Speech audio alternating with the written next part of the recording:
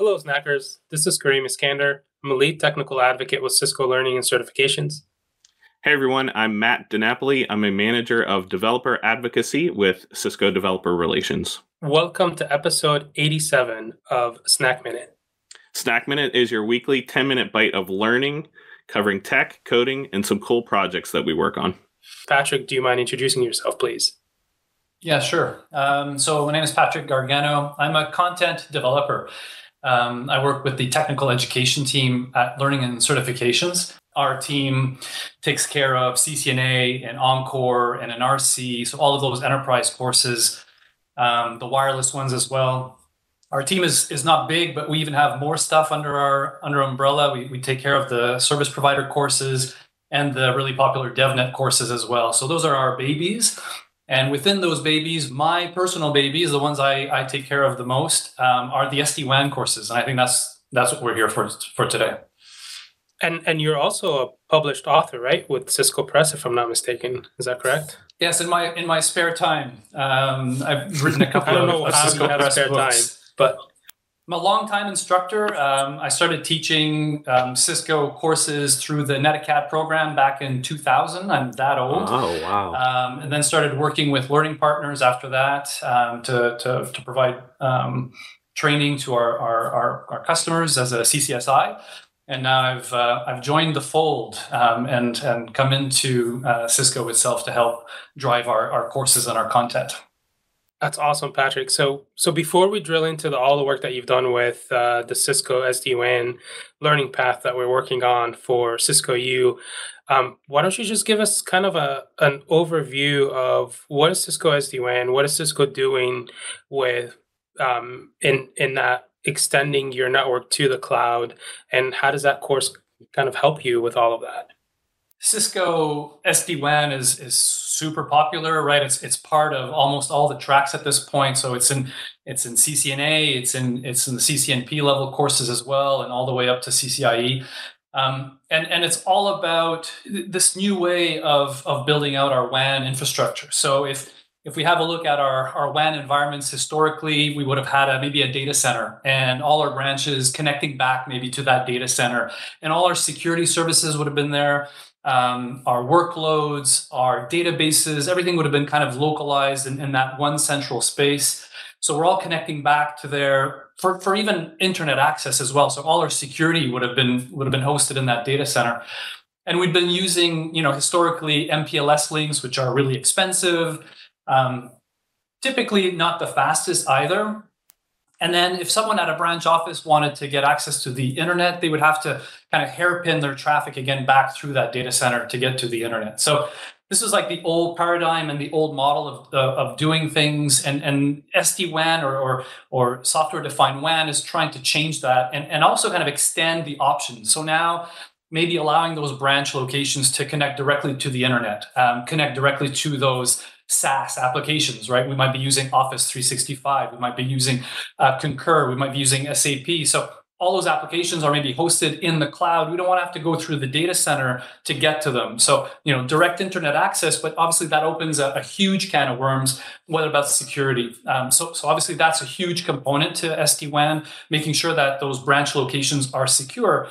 But then, you know, you start getting questions like, well, hang on a second. If I'm deploying all that security at the branch, I'm going to need a massive router. I'm going to need a lot of performance, a lot of power to be able to deploy my firewall and my IDS and my URL filtering and, you know, my AMP and all these different technologies. So the, the solution around that is maybe a, a combination of two things. So we have a little bit of, of on-site or on-prem security at that branch location, but we can also offload a lot of that security to the cloud um, using you know Cisco Umbrella and the secure internet gateway functionality. So this is this is just changing the game massively, right? Um, from from what we used to do to now what we're trying to do. And and as you said, uh, you know, to start us off, Kareem, the the whole point of this also is to get access to our workloads that could be in AWS, Microsoft Azure, GCP. Um, and again, I don't want to have to hairpin through that data center. I want to hit those directly from that branch location.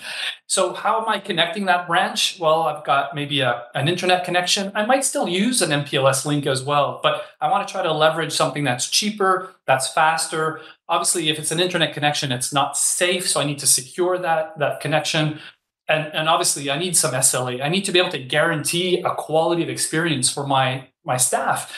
If I'm getting people to connect to, I don't know, you know, Office 365, they need to be able to perform their work in the cloud as if that application was local on their machine. So so we need to make sure that we're we're we're getting that performance out of that out of that internet link, um, and so we need to track that performance. And so, so Cisco SD WAN is able to to do that and and ensure that we have a good quality of experience. So sorry, that was a, a long-winded but very, very short explanation of, of what Cisco SD-WAN can possibly offer um, today's networks. I think that really set the table nicely. And, you know, in that, I, I, wouldn't say it's long-winded because um, tying Cisco SD-WAN into a learning path, having it be part of so many different course materials. Um, I know that it's part of uh, some of the DevNet ones as well. Um, you know, there's there's a lot in there that needs to be addressed. So, um, can you kind of expand a little bit on um, what people can expect when they're going into um, into that learning path? Some areas that they could potentially focus on, or where just maybe they need to get started. First question you need to ask yourself is: Is am I learning this content because I I'm working towards a certification? Or am I learning this content because I'm working towards just becoming that SD-WAN hero that, that works for my company? And, and the reason I'm, I'm asking you that question is because if it's really because you're you're aligning towards getting that cert, so you know you're working to your your CCNP enterprise, um, you've taken ENCOR, and and you need another exam, right? You need a specialization to finish off your CCNP enterprise. So ENSDWI, which is the certification aligned course to the exam, um, would get you there. So that that's that's one way of doing it, and that covers everything, right? right? From from bringing up the uh, the the the overlay to deploying WAN edge routers to security to cloud on ramp for SaaS for multi cloud. Um, you know, it covers everything. But that's really focusing on on that exam and that exam blueprint. If instead you're you're more interested in really some specific technologies, then then what I've got right now on the screen is maybe what you need. So what I've done here is I've kind of built for you um, what I'm calling a technology learning path specifically for Cisco SD-WAN. And what's what it's going to include are three tracks. So the, the first track is the fundamentals track. So that's obviously fundamental. So it's giving you a sense of what SD-WAN is, what the different bits and pieces are, you know, the vBond and vSmarts and all these strange sounding things, and then how to get a, a, a basic SD-WAN network up and running, pushing out some some some policies um, and and and controlling routing, um, but fairly, you know, at a basic level, you know, hub and spoke deployment kind of thing.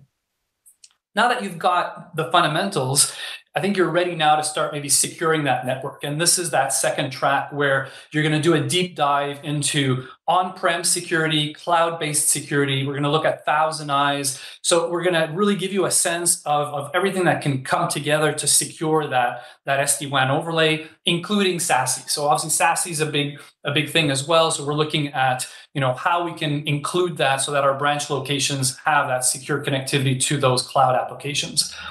And then speaking of cloud, well, then that's where you get a chance to, in that third track, to really kind of dive more deeply into, you know, how do we deploy things like, you know, cloud on-ramp for SaaS, cloud on-ramp for multi-cloud, co-location. Um, so all of these different flavors of, of, of, cloud options, including the interconnect one, which is, you know, leveraging Megaport um, and those kinds of applications as well. So, and again, Cisco ThousandEyes being such an important key key element for for monitoring the cloud, making sure our cloud is is performing properly and efficiently.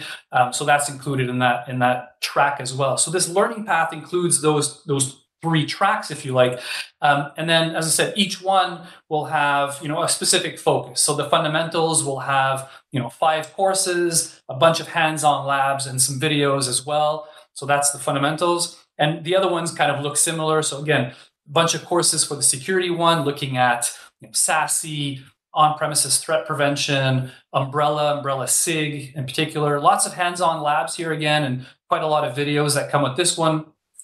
And then same thing with the cloud solution. So having a look at different ways that we can optimize and connect to the cloud. Um, again, bunch of labs here. Uh, and I have to say, one of the cool things in particular about this cloud track and the security track is that we're leveraging the Cisco dCloud environment for those labs. So these labs are always on. So what's fantastic here is as a learner, I'm consuming the content. I'm like, you know what? I've got a quick half hour. I want to do a lab you jump into that lab it's available right away and you're off to the races. So so this is this is what's cool um, in particular with those two. The fundamentals is also in our vm environment and it takes maybe you know four or five minutes to spin up. So that one's very quick as well. For me this is a kind of a, a highlight while i'm learning is to getting not only looking at watching the videos and looking at the text and reading what's you know what's the solution is about in general, but actually implementing it and trying to trying it um, in a sandbox environment. And it's uh, it's awesome to actually see that um, part of our learning path. Now, I know I know Snackers, you're super excited about what uh, what Patrick here has been talking about. So all of the content that we have that we've mentioned here and more, including certification prep exams, um, prep material for exams uh, is available for you on um, Cisco U today. So get on the early access list. We have the link here somewhere or a QR code for you somewhere here. First time yeah. uh, on on our show, so um, we do ask this go of all of our uh, first guests, and um, that question is, "What is your superpower and why?"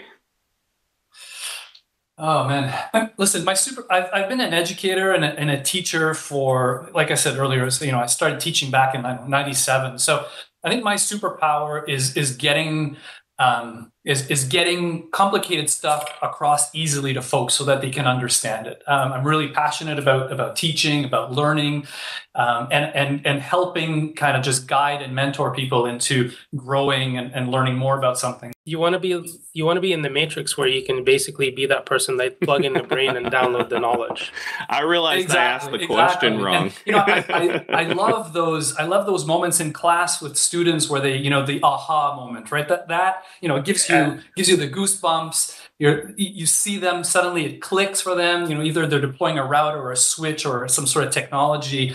Um, and that always makes me really really happy. And, and, that's that's what you know being an educator is all about. It's, so i'd say it's definitely say being facilitating and helping folks get to that point is, is what i would uh, would say my my superpower is all right. Well, Patrick, thank you so much for joining us today. Um, and we look forward to having you on again.